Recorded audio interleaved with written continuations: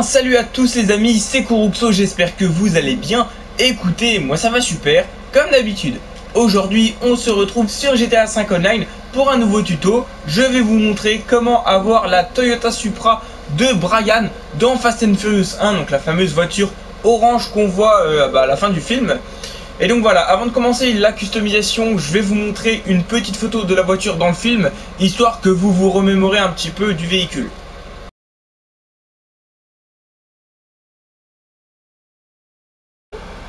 Et donc voilà les gars, la fameuse Toyota Supra, donc l'une des voitures les plus emblématiques de la saga. Alors comme vous pouvez le voir sur GTA 5, ils l'ont vraiment super bien refaite, autant au niveau de la forme qu'au niveau du motif.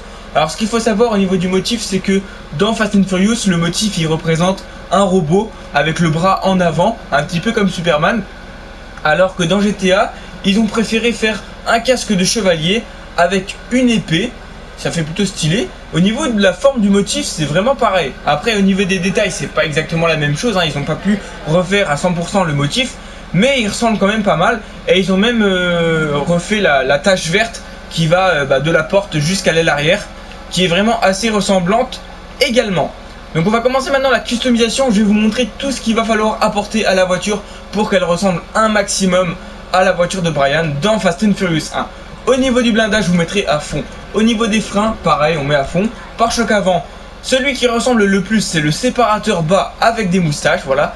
C'est celui que j'ai retrouvé le plus ressemblant au niveau de la forme euh, du bas du pare-choc là avec, euh, avec les, trois, euh, bah, les trois trous noirs en fait. Le, trou noir bah, qui est au milieu, avec bah, derrière il y a le, le, radiateur, et les deux, les deux petits trous noirs sur les côtés là, ils ont la même forme que dans le film, donc c'est vraiment celui-là qu'il faut prendre. Le pare-choc arrière, on va laisser deux séries, puisqu'après ça nous rajoute des diffuseurs et c'est pas du tout comme ça dans Fast and Furious. Au niveau du châssis, on va laisser deux séries. J'ai bien regardé, il n'y a pas d'arceau euh, dans Fast and Furious. La voiture elle est d'origine au niveau de l'intérieur.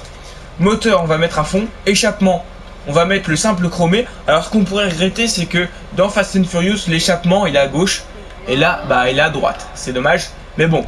Après ça, ça gâche rien à la qualité de la voiture.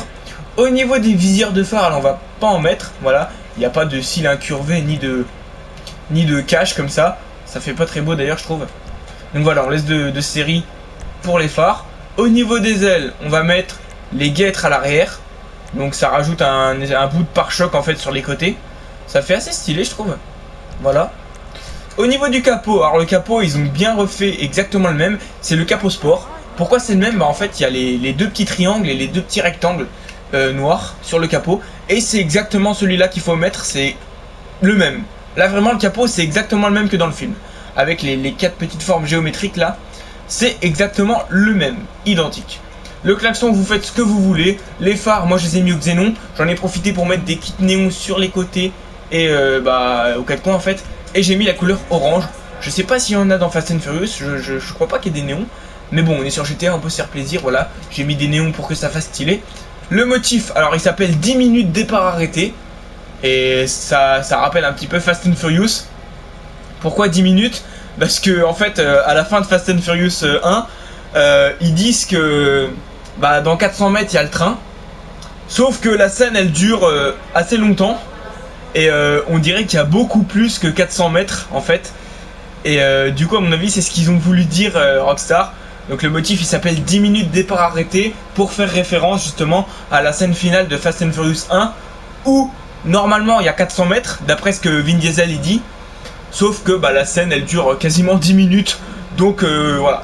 C'est pour faire une petite référence encore une fois à Fast and Furious, c'est plutôt sympa.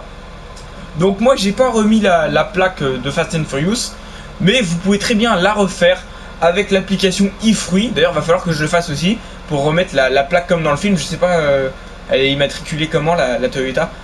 Mais j'essaierai de, refaire la même plaque. Voilà. La peinture, bah, couleur principale classique orange. Voilà, pas très compliqué. Couleur secondaire orange aussi, pareil.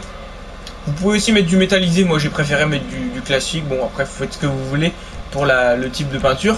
Couleur définition, j'ai mis orange pour l'intérieur. Même si je crois que... Euh, je crois que dans le film c'est tout noir, hein, il me semble. Voilà. Je regarderai plus, en détail comment c'est l'intérieur. Moi j'ai mis orange pour que ça fasse un petit peu ressortir les sièges, mais euh, je crois que dans le film c'est tout noir.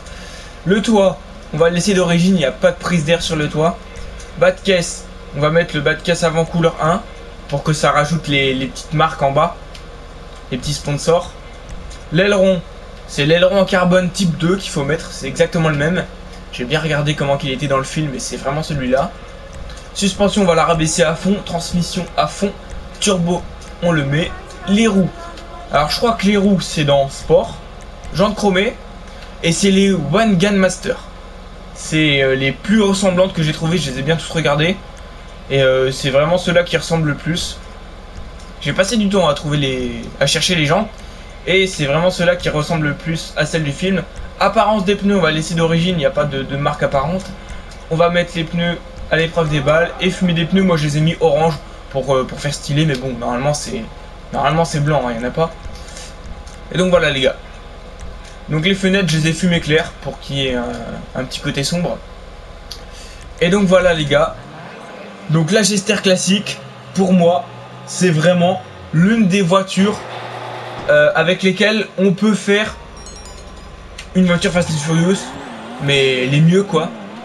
Il y a aussi la, bah, la, Nissan Skyline, là, la, la euh, de chez Benny, qui est pas mal aussi pour faire une voiture de Fast and Furious. Mais alors la Gester classique pour faire la Toyota Supra de, de Fast and Furious 1, il n'y a pas mieux.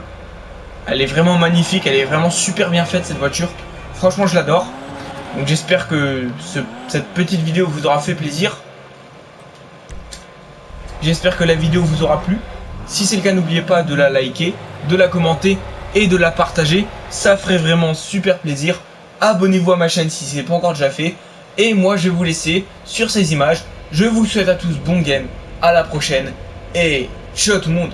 Peace.